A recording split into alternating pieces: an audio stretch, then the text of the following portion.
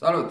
Probleme în schimbări climatice mă fac să port ochelari cu lentile heliomatice. Ultimii 50 de ani, fluctuații cu temperaturi extreme, zilele reci nu mai dau semne, frecvența celor calde e lesne.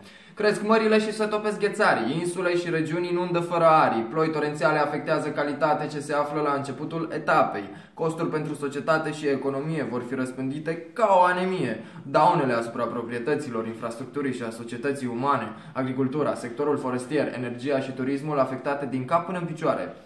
6 milioane de vieți au fost dispărute pe vrute și nevrute. Ce să mai vorbim despre adaptare, o cale a naturii de alăptare a speciilor de plante și animale dispărute. Anticipativă sau reactivă, privată sau publică, pericolul e la câțiva în distanță, local, regional, național sau internațional. Trebuie să acționăm decizional și profesional, urgent, pentru că România nu va mai fi cea pe care o știm noi peste 50 de ani. Totul se va schimba radical în sectoarele prioritare ca și industria, agricultura, turismul, sănătatea publică, construcțiile și infrastructura, transportul, resursele de apă, asigurările, uh, energia, biodiversitatea, pădurile, activitățile recreative și chiar în educație, România nu trebuie să mai ia măsuri neîntârziate în aceste cazuri. Ale consecințelor alarmante din partea schimbărilor climatice, abordărilor flexibile, adaptive, inovative și care să conțină mai multe informații pentru a depăși existentele malformații.